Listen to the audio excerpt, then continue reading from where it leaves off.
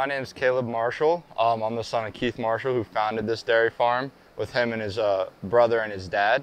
And what we're about to look at is a room full of robotic milking machines that we're really excited to show you. So come along and look at it. All right, so what you're seeing here is a Lely Astronaut robotic milking machine. So this machine runs 24 hours a day, 365 days a year, or 366 days if it's a leap year. Um, so what it's doing right now, if you can get the camera up on it, is before it milks every cow, it does a two cycle cleaning process where it just tries to wipe off any grime that might be on the cow's udders or teats. And it comes back, sprays it with like a sanitizing solution and dries it off so it's ready for the milker. So a way that the system works is whenever the cow goes into it, um, in the bucket up front, it receives a treat that's like grain, barley, and oats. And that what that does, it, it creates a positive feedback loop for the cow to want to keep on coming into the machine all by itself, voluntarily, and get milk. Now, if you put the camera up close, you'll see some lasers pop out and it seems like it's reading the cow's teats and that's exactly what's happening. So you see, if you can see the red laser right there, what it's doing is it's triangulating the location of the cow's teats and it's putting out the suction cups and sticking it right on, which is, machines are actually really cool. So um, they were designed in the Netherlands as a response to like a labor shortage over there. They just couldn't find enough people to milk cows. And that's something we're seeing over here in the United States. So what you're seeing is a lot of American agriculture, whether it's in dairy or not, uh, make a move towards robotic um, machinery to help with this labor. And something that's really cool, is if you look over here, so there's a lot of things that go on behind the scenes, but essentially once it starts milking the cow, it comes into this bowl right here. But there's a lot of other things we do that make sure the milk is safe and healthy. So we actually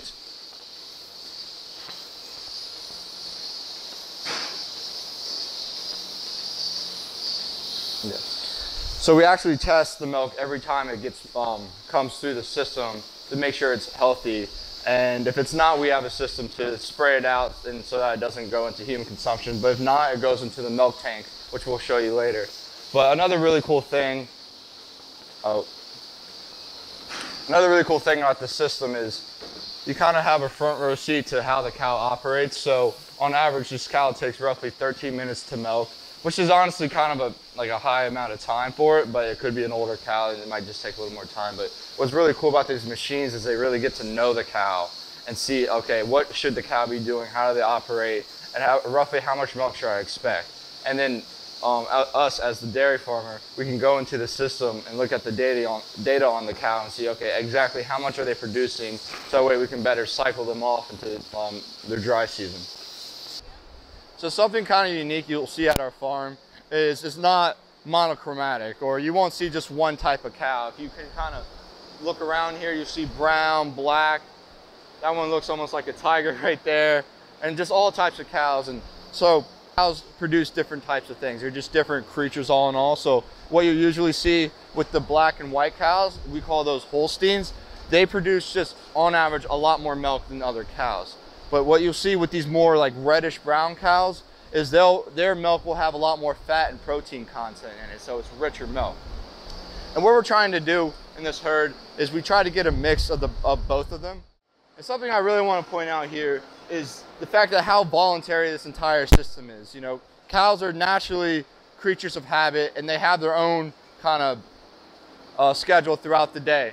But something they like to do and something that's definitely built into that schedule is going in and getting their treat and getting milk.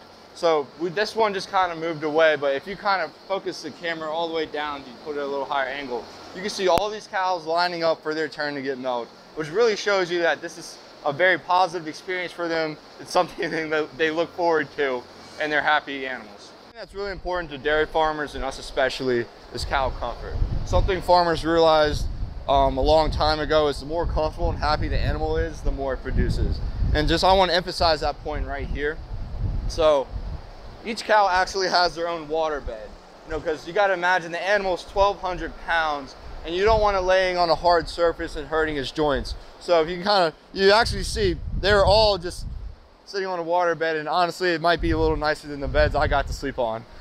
Um, but another really cool thing is like no pun intended, but it's actually all the fans in the building. So something we really want to emphasize in the summer is the cows staying cool and comfortable. And you can probably see roughly 20 to 25 fans just throughout here and then up there on the top of the ceiling.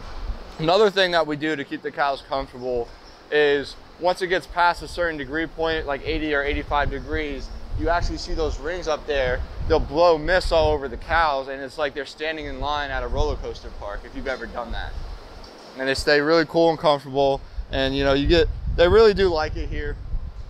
They'll come up and say hello to us every now and then. This one's a nice one. First thing I'll talk about is the identifying tag.